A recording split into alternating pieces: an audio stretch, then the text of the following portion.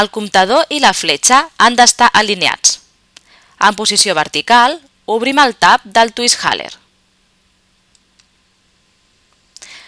Mantenir l'inhalador a un costat.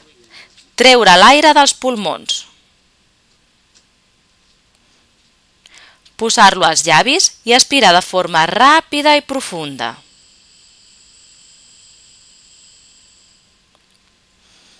Aguantar la respiració uns 10 segons o fins que pugui.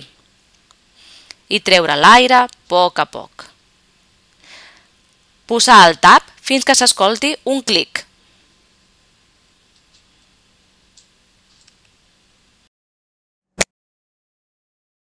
A l'acabar, glopegeu i llançar l'aigua. Twisthaler és un sistema multidosi de pols seca. Cal protegir-lo de la humitat. L'embocadura es pot netejar amb un drap sec. Quan apareix la numeració 01, significa que només resta una dosi. Després d'usar-la, cal utilitzar un nou envàs.